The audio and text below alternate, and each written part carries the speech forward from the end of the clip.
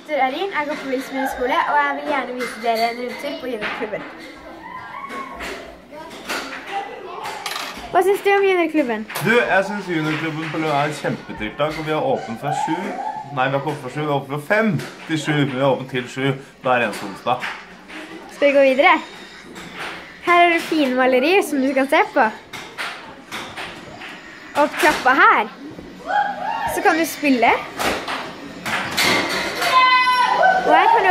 Også spille noen spill. Hva syns dere om juniorklubben?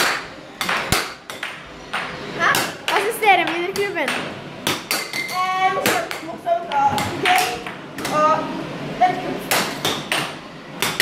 Så vi går rundt her. Her kan du også spille bordtennis. Det er tre forskjellige spill her. Og gjennom døra her så er det også et spill.